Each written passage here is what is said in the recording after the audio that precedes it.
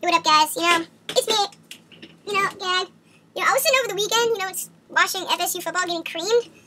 You know, and I was just like, you know, we should learn the alphabet song for our home doggy dogs who don't know the alphabet in Spanish.